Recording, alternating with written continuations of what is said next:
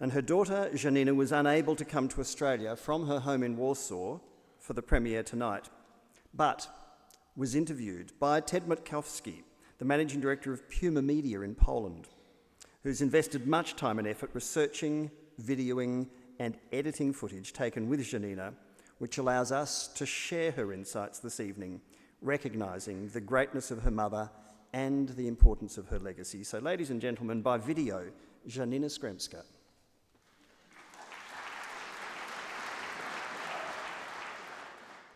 Jestem córką Ireny Sendlerowej i jest to nazwisko znane w świecie, nazwisko, które w Izraelu kiedyś, kiedy pojechałam tam po raz pierwszy, otwierało mi sporo drzwi. Witam Panią. Znajdujemy się w dość niezwykłym miejscu do tej rozmowy, mianowicie e, przy ulicy, która kiedyś nazywała się Leszno. E, znajdujemy się w kamienicy, która ocalała e, wojnę podziemiach tej kamienicy znajdowały się tunele. Kamienica stoi na pograniczu byłego e, getta.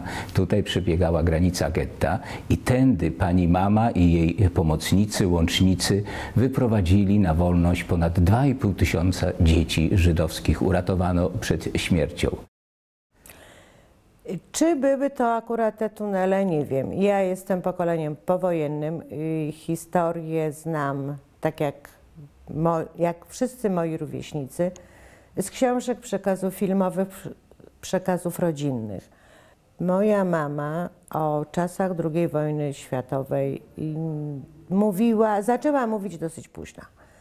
Nie mówiła, nie wspominała z paru powodów. Nie wspominała dlatego, że uważała, że to, co zrobiła w czasie wojny, należało do czasów wojny, a po wojnie były inne czasy, inne wyzwania, inne problemy którymi się zajmowała. Nie wspominała również dlatego, że wszystkie wspominki, o ile takiego słowa mogę użyć, powodowały u niej wzrost ciśnienia, nieprzespane noce, koszmarne sny. Dlatego w tym momencie mogę pochylić czoło i bardzo podziękować jej za wysiłek, zarówno autorki książki, jak i mamie, za to, że zdobyła się na to i wspomnienia ujrzały światło dzienne w książce pod tytułem Irena Sendlerowa, Matka Dzieci Holokaustu.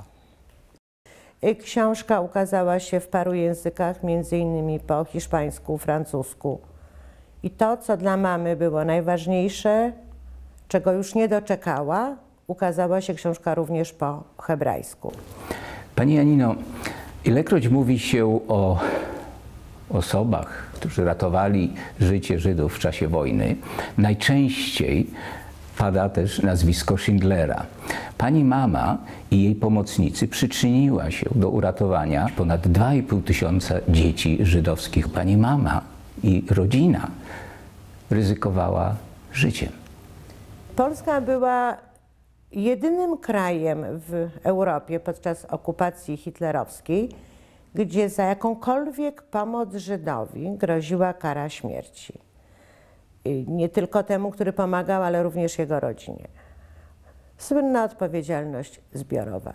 Natomiast mama moja robiła to, co robiła, robiła z potrzeby serca.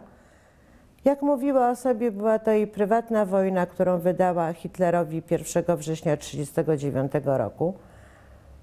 Naród żydowski był skazany na zagładę, ale w tym narodzie żydowskim najbardziej, najbardziej bezbronne były dzieci i no i moja mama zajęła się pomocą taką, jaką mogła. No bez wątpienia żyje jeszcze wiele osób, tych uratowanych dzieci, którzy do dzisiaj nie wiedzą, nie dowiedzieli się, kto za ich uratowanym życiem stoi, właśnie pani mama. Jeżeli, jeżeli mowa jest o czymś takim, że kto stoi za uratowaniem jakiegoś dziecka, najprawdopodobniej stała Żegota, Rada Pomocy Żydom, referat dziecięcy, którym kierowała moja mama i wśród tych właśnie ludzi, czasami byli to bezimienni ludzie, którym też należy złożyć hołd.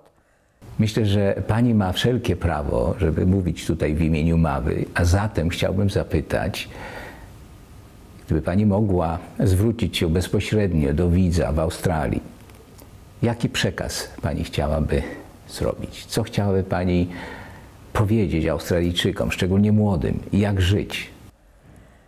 Moja mama, Irena Sendlerowa, powtarzała zawsze i w książce również jest to uwidocznione. Prosiła o jedno: proszę nie mówić o mnie bohaterka.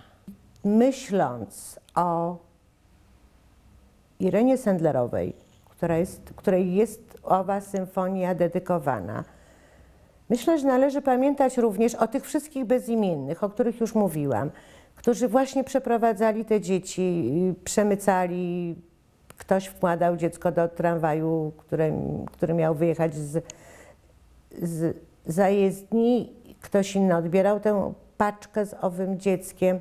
I właśnie dla tych wszystkich bezimiennych rąk, dla tych wszystkich bezimiennych ludzi również jest to hołd oraz uhonorowanie.